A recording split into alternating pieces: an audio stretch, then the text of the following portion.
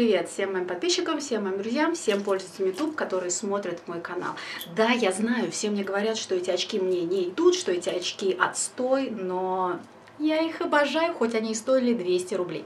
А, итак, ну давайте видео сегодня будет без очков, потому что вызовет это очень-очень много сомнений. А, итак, сегодня хочу с вами поделиться своей самой любимой темой. Да, конечно же, это будет парфюмерия. А, Причем это будет э, не видео не о всей моей парфюмерии, а это будет видео об четырех ароматах, которые представлены торговой маркой, брендом а, Марина де Бурбон. А, а сразу же говорю, данное видео не является рекламным, данное видео не является коммерческим. Это, это моя отсебятина. Марка Марина де Бурбон а, вошла в мою жизнь очень так вот по-родному. Марина де Бурбон духи очень нравились моей маме, и они нравятся моей маме. Вот. И как-то вот по э, ее рассказам об этой марке я приобрела себе несколько ароматов. А, а, и что хочу сказать, а, все эти ароматы я приобретала исключительно по описанию исключительно по описанию, то есть у меня не было возможности их попробовать, потестить.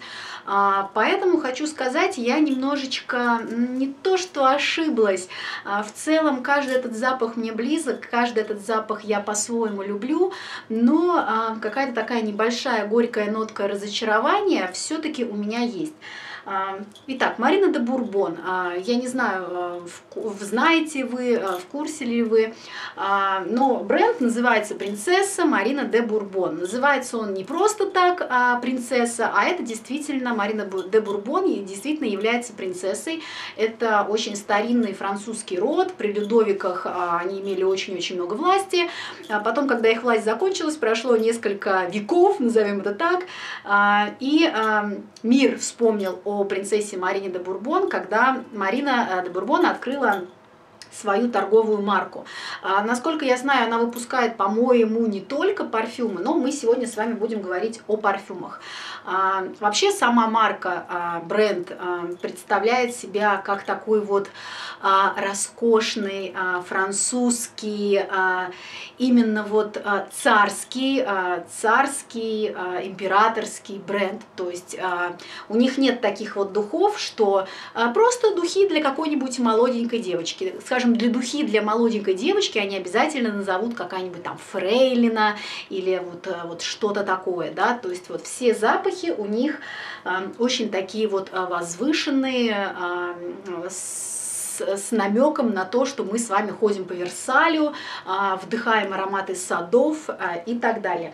Ну, давайте расскажу вам, что у меня есть. Вообще, начала я свою любовь от того парфюма, который а, был у моей мамы. Почему был? Потому что я, у него, я, я его у нее отобрала. Итак, первый парфюм, он, кстати, самый маленький, какой у меня есть. Это вот такая вот а, упаковочка. Это у нас, насколько я помню, аромат лис. Называется он а, именно лис. А, я думаю, вы на меня не обидитесь. Я себе тут просто сделала такую небольшую заготовочку, чтобы рассказывать не просто как бы о своих каких-то ощущениях, да, но и все-таки рассказать вам о базовых нотах, которые присутствуют в каждом парфюме. Итак, первый парфюм, он мой самый любимый, он мне самый близкий, он самый роскошный, по моему мнению, самый сладкий и вообще самый идеальный. Итак, а, Лис, а, принцесса Марина де Бурмон. А, аромат выпущен в 2005 году.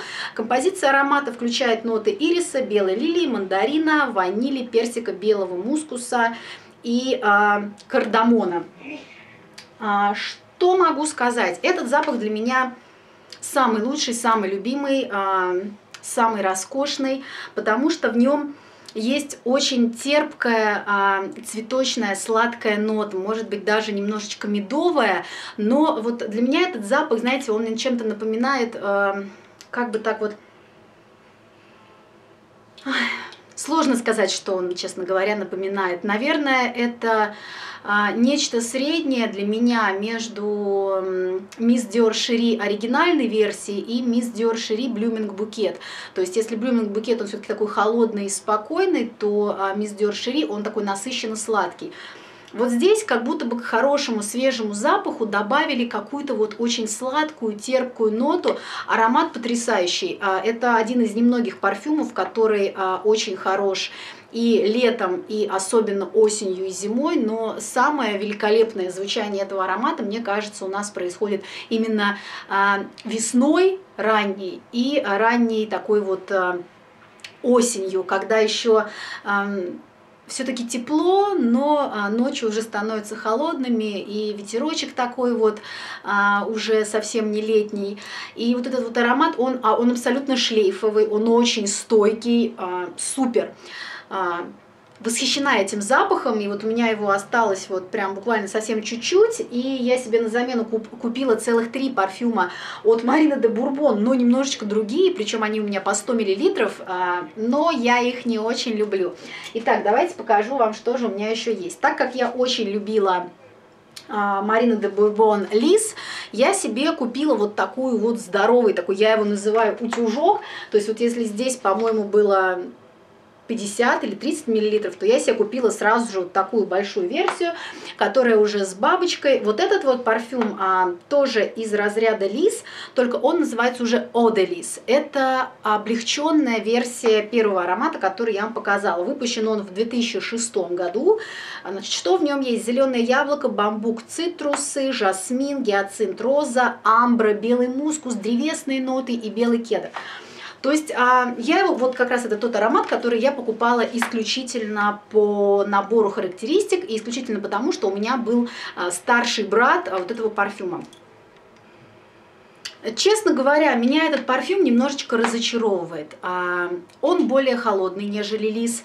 И все-таки в лис меня подкупает вот эта вот шлейфовая, теплая, медовая нота. Здесь этой ноты нету, но и также здесь нету какого-то вот такого цветка, который бы ярко звучал. То есть для меня этот аромат почему-то, вот знаете, такой... А, напоминает аромат послевкусия. То есть как будто бы вот здесь нету первой яркой какой-то ноты.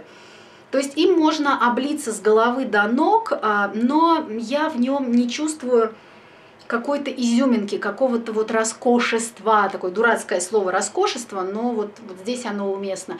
В этом аромате нет роскошества, то есть если бы вот это называлось не Марина де Бурбон, а называлось Эйвен или Арифлейм, я бы, в принципе, ничего особенного и не подумала. Обычный вот такой абсолютно стандартный эйвоновско-арифлеймовский аромат. И когда ты сравниваешь вот эти два парфюма, а, Лис оригинальный и Оде Лис облегченную версию, то, конечно, это вот как сравнить а, не хочу говорить плохое сочетание, как сравнить что с чем, но вот этот парфюм реально роскошный, реально он отсылает нас куда-то во Францию, э, в потрясающие сады, и вот вы идете под ручку с Людовиком, гуляете себе, все себя прекрасно чувствуете, рядышком бегают маленькие белые баллонки, то вот здесь это такой вот э, типичный какой-то легкий запах без яркой ноты, вот а-ля Avon Oriflame.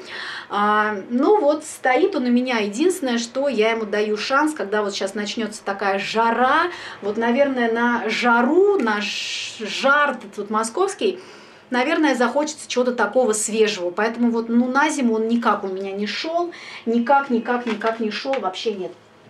Следующий парфюм от Марины де Бурбон, который у меня есть, это вот такая вот бульба. На самом деле, чем вот хороши 100 миллилитровые а, парфюмы от Марины де Бурбон, ими реально можно убить. То есть вот а, у него такие острые уголки, то есть если, а, не дай бог, какая плохая ситуация, вы можете просто вот это использовать как орудие для убийства. Абсолютно мощный такой злой флакон.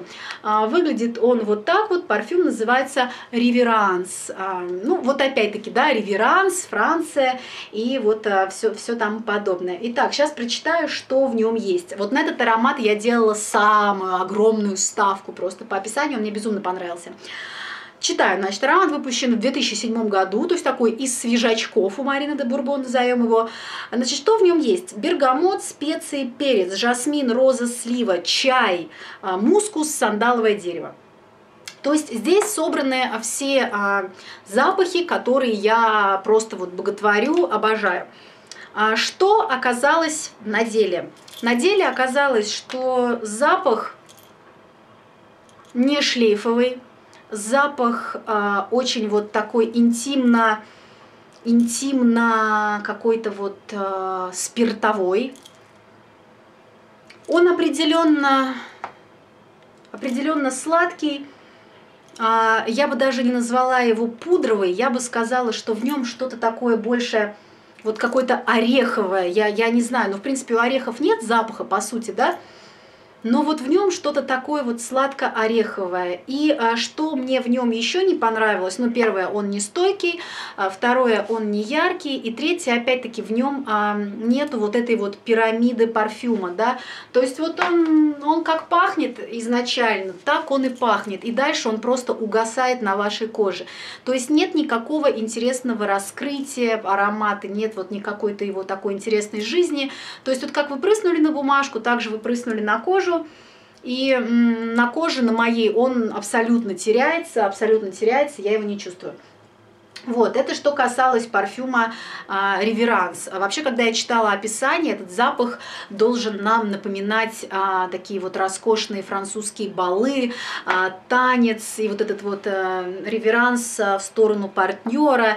Но, как одна из девушек написала, мне очень понравился отзыв, а, скорее это вот такое не начало бала, не яркий бал, а вот парфюм Реверанс это нечто то, что появляется в конце бала, в конце дискотеки, когда все все уже устали, все уже наплясались, а, все уже парфюмы выветрились, от шампанского уже болит голова, и вот от реверанса возникает такое ощущение, то есть нет в нем вот этой вот роскошности бала, есть какое-то послевкусие, послевкусие.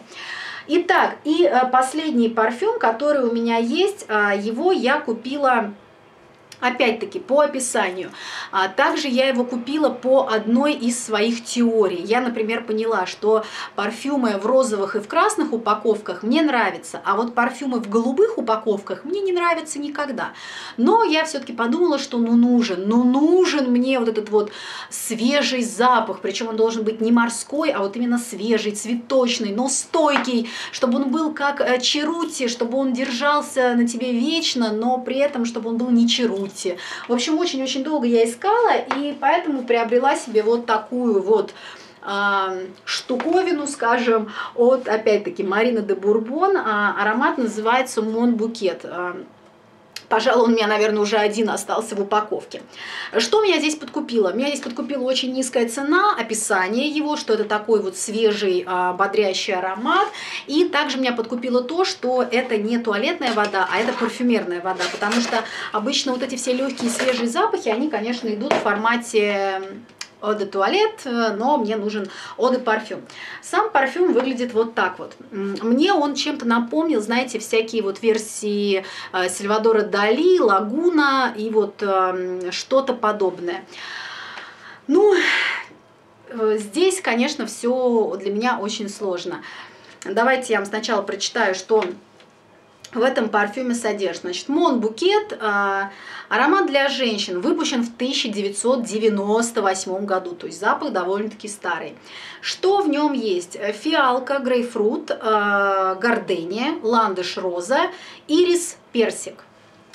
То есть, по сути, аромат должен быть вот такой вот э, холодный, э, холодный, цветочный, спокойный.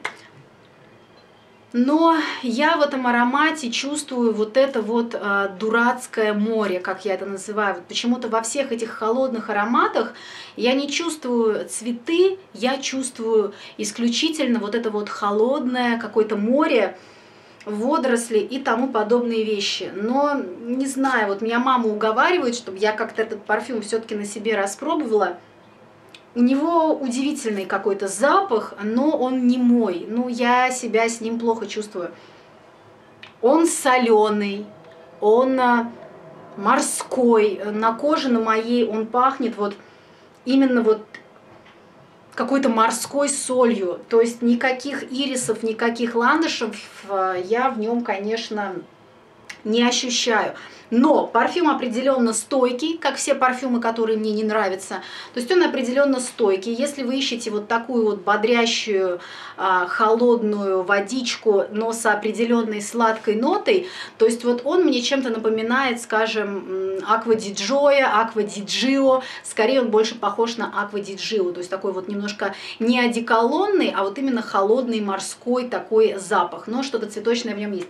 Но, повторюсь, на коже на моей он раскрывается крайне странно и а, не знаю, попробую я с ним опять-таки вот как а, с Оделис попробовать совладать в жару, но мне почему-то кажется, что у меня ничего из этого хорошего не получится. Вот, поэтому что могу сказать? Меня, конечно, определенно радует то, что у нас с мамой а, вкусы в парфюмах разные, поэтому даже если мне какой-то запах а, не идет, обычно он очень хорошо идет моей маме, поэтому вот мамулечка у меня уже прям ждет, ждет, ждет, когда же я эти парфюмчики отдам ей. Ну, по сути, наверное, я так и сделаю, потому что, ну вот, не вставляют они меня вообще никак. А, и у меня поэтому возникло такое вот небольшое разочарование, то есть а, Получается, все ароматы очень красиво описываются, они заявлены как вот такие роскошные французские исторические такие вот ароматы, но они какие-то для меня плоские, какие-то простые, и без вот, э, вот этой вот пирамиды аромата, когда запах на вас раскрывается, пахнут как-то вот крайне-крайне одинаково, но при этом Оделис а, оригинальный, который сладкий, да, я им восхищаюсь, я его обожаю. Роскошный, потрясающий запах. И когда он у меня закончится, может быть, я его и приобрету снова в свою коллекцию. А вот эти вот три, Оделис, Мон Букет и Реверанс, как-то они вот не произвели на меня вот такого прям супер неизгладимого впечатления. Реверанс хороший запах, а реверанс чем-то похож на Роберто Кавалли, Фенди, то есть вот у Роберто Кавалли и Фенди тоже похожие, а, похожее строение аромата, нет яркой передней ноты, а есть вот общий, общий фон но реверанс не стойкий, и как-то на моей коже он звучит не очень. Вот этот, который я брызнула, я понимаю, что я уже начинаю от него задыхаться, что вот если девушке какой-то он подойдет, если он ей будет нравиться, то потрясающий запах а, будет для нее и будет очень стойкий и очень освежающий. Но меня вот эта вот свежесть, она меня прям она вот не свежесть, а какая-то морская соленость, а, ну вообще никак. Вот, единственное, что хочу сказать. Марина де Бурбон, а, ее практически, по-моему, невозможно найти в онлайн-магазинах. А, вы можете а, Марину де Бурбон заказать через интернет. Куча есть сайтов. И огромный плюс а, бренда Марина де Бурбон то, что их парфюмы стоят крайне дешево. То есть вот, например, все парфюмы, которые я вам сегодня показывала, в которых 100 мл, я их покупала порядка 1200-1300 рублей.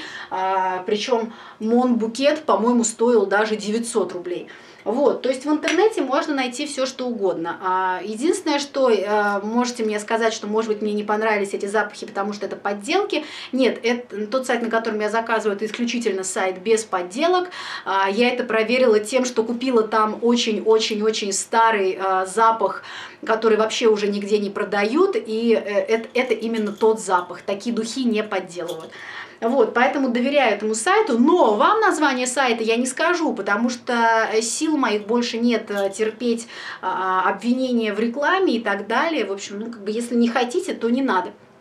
А, некоторым своим адекватным подписчикам я, конечно, иногда пишу название сайта, где я что покупаю, вот, но а, просто вот из-за того, что а, я сейчас с вами крайне искренне поделилась а, своими парфюмами, если я вам сейчас скажу, на каком конкретно сайте я это все покупаю, опять это все перерастет в разряд а, того, что а, этот сайт мне проплатил это видео, сама Марина де Бурбон проплатила мне это видео, и вообще все как-то так вот. Так что название сайта я вам не скажу. Пробуйте сами, сейчас огромное количество сайтов, а, как-то так, буду сегодня а, плохой девчонкой. Вот, а, такое было видео. Большое вам спасибо за просмотр. Всех вас люблю, целую, желаю вам всего самого замечательного. Сегодня у нас выходной день, я бегом-бегом еду заниматься всякими интересными делами. Вот, чего и вам желаю. Ваша Вероника, до встречи на моем канале. Пока-пока.